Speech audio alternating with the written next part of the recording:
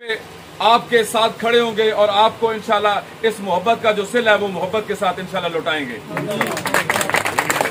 बड़ी कठिन मुसीबतों में उनकी भी सारी ज़िंदगी गुजरी है। यकीन माने कि उनकी ज़िंदगी जेल की सलाहों के पीछे और उनको एक कदर थी, एक तकलीफ़ होती थी। जब भी मैं उनके साथ बात करता था या जब भी वो मेरे साथ बात करते थे फ़ोन पे या उनके पास जाते थे तो उनका जो किरदार था इस सुलह में मैं उसको भी खराज तहसीम ना दूँ तो बड़ी ज़्यादा होगी।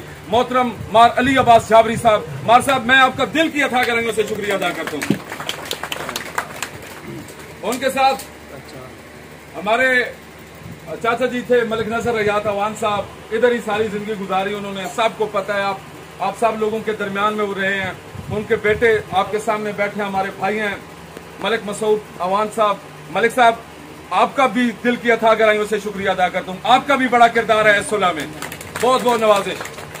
और मेरे भाई, पहले मेरे साथ हर टाइम अवेलेबल होते थे, थाना, कचहरी में सारे मामला को वो देखते रहे। लेकिन जब हमने उनको सुलह के लिए अप्रोच किया तो उन्होंने कहा कि फिर अब थाना मेरा बंद है। मैंने कहा, बिल्कुल ठीक है। मेरे बहुत ही प्यारे भाई हैं काडोबा स्कूल के सीईओ 92 न्यूज़ चैनल के ब्यूरो चीफ हाजी सरफराज खान साहब आपका भी दिल की अथा कराई उनके साथ शुक्रिया अदा करता हूँ। और उनके साथ मेरा भाई बैठा है हमारे बुज़ुर्ग हैं चाचा मुमताज़। उनका बेटा है केबल आपके जो गाँव में चल रही है या इर्द गिर्द जो आ, केबल चल रही है उसके सीईओ हैं सफदर बकराना साहब। सफदर भाई आई प्राउड ऑफ़ यू आपने भी बड़ा किरदार अदा किया। छोटी सी उम्र में आपको भी इतना ही क्रेडिट देता हूँ। बहुत शुक्रिया बहुत बहुत शुक्रिया। ताली नहीं बजा रहे ज़्यादा कर रहे हैं। बोल मैं रहा हूँ थक आप गए और सबसे पहले जिस बंदे ने इस सुलह की बुनियाद रखी, उसका नाम ना लू तो बड़ी ज़्यादा होगी। मेरे बहुत ही प्यारे भाई हैं।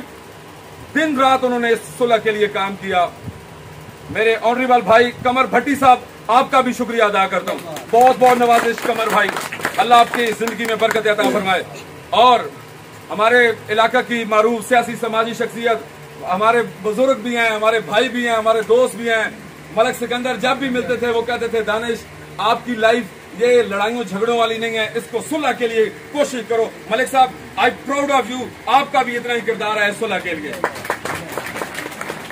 और कोर्ट कंपोज से हमारे भाई हैं, मुस्तफ़ा मेकन साहब, दिन रात उन्होंने एक किया इस सुलह के लिए।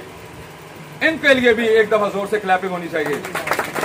मार आज़म साहब, मुझे नज़र नहीं आ रहे। मार आज़म साहब, आपको और डॉक्टर अख्तर को भी मैं क्रेडिट पेश करता हूँ इस सुलह के लिए। बहुत नवाजिश। और हमारे बुज़ुर्ग काजी नासिर साहब मेरे, क्योंकि क्रिकेट फेलो हैं, मैं क्योंकि बात नहीं करूँगा तो बड़ी ज़्यादा होगी। काजी साहब को आप सब जानते हैं क्रिकेटर साहब जानते हैं। काजी साहब के बड़े भाई काजी कदीर साहब, यकीन माने खुदा की कसम करके कह रहा हूँ, इस बंदे ने इतनी एफर्ट की है, इतनी एफर्ट की है। सारा क्रेडिट दिल की अथा गराइयों के साथ। काजी साहब आई प्राउड ऑफ़ यू और आपको ये दोनों हाथ बाँध के शुक्रिया भी अदा कर रहा हूँ। नईम भाई, आपका भी बहुत बहुत शुक्रिया। फैसल, आपका भी बहुत बहुत शुक्रिया। अमार चाचा, उमर, आपका भी बहुत बहुत शुक्रिया। जिनके नाम अब नहीं ले सका, वो माजरत। कोई बंदा ये ना कहे कि भाई हमारे नाम नहीं लिए। आपका भी बड़ा शुक्रिया। शाह साहब, आपकी भी बड़ी नवाजे। बाकी जितने दोस्त है हमारे सारे बैठे तिलावत होगी, तिलावत के बाद इंशाल्लाह मैं छोटी सी स्पीच करूँगा। उसके बाद इंशाल्लाह मेरे ऑनरेबल जो इस आज के इस महफल के हीरो हैं, जिन्होंने सारा जिनका किरदार है, जिन्होंने आज हमें सबको मिलाया है। और मैं गाँव में तीन चार बंदों का नाम भूल गया हूँ।